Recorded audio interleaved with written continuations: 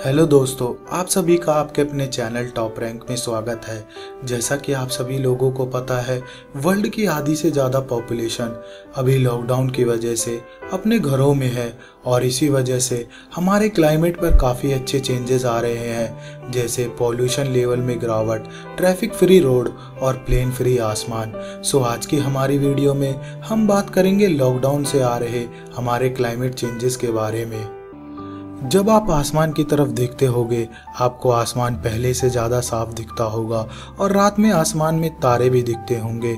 उसके पीछे main reason यह है कि लॉकडाउन की वजह से ऑटोमोबाइल का कम यूज़ होना और काफ़ी फैक्ट्रीज़ का बंद होना भी। और अब बात करते हैं चाइना। जहाँ से यह महामारी स्टार्ट हुई, वहाँ इस लॉकडाउन और इकोनॉमिक स्लो डाउन की वजह से एयर क्वालिटी में काफ़ी इम्प्रूवमेंट हुए हैं। यह आप 2019 और 2020 का ग्राफ देख सकते हो। कैसे NO2 के लेवल में गिरावट देखी गई है? अगर हम इंडिया के बारे में बात करें तो इंडिया में काफ़ी अच्छे चेंजेस देखे जा रहे हैं। लॉकडाउन के बाद, जैसे नदियों का साफ़ होना, ये आप यमुना नदी की तस्वीरें देख सकते हो लॉकडाउन से पहले और लॉकडाउन के बाद की।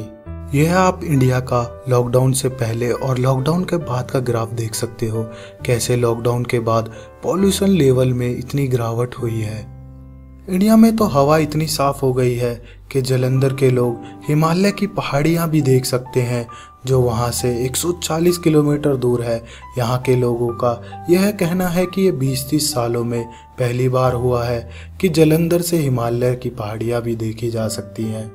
पर इन चेंजेस से हमें खुश नहीं होना चाहिए, क्योंकि ये क्लाइमेट चेंजेस टेम्परेरी है। जैसे ही लॉकडाउन खुलेगा, सब पहले की तरह हो जाएगा।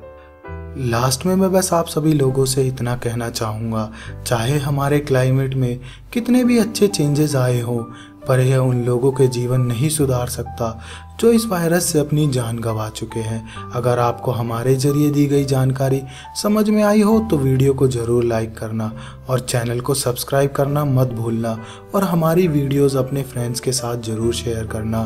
तब तक के लिए अपने और अपनों का ख्याल रखें।